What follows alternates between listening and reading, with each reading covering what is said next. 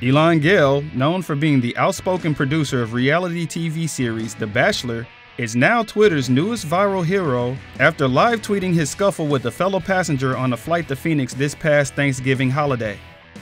Elan's flight was delayed when he overheard a lady complaining selfishly to the flight attendant. Since they were still parked at the gate and with nothing else better to do, Elan decides to give a play by play via Twitter to all of his followers. After hearing the woman's self centered complaints, Elan decided to get involved. Thinking maybe this woman needs a drink, he offers her a glass of red wine along with the helping of STFU on the house.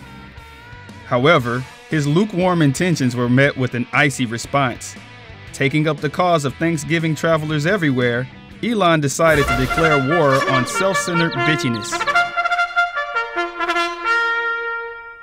He feigns a bathroom break and hand delivers another adult beverage. She didn't seem to take the second round of drinks too well. A flurry of notes is sent back and forth between the two, all the while with the in flight Wi Fi beaming back the exchange for all of Elan's fans to see and respond to.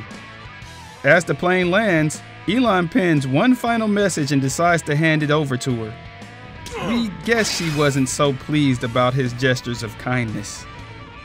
To add insult, well, one more insult to injury, Diane in 7A was unable to make her connection to Sacramento and probably never got to enjoy Thanksgiving with her family. However, Elan made his connection to LA and spent the holiday with his mother.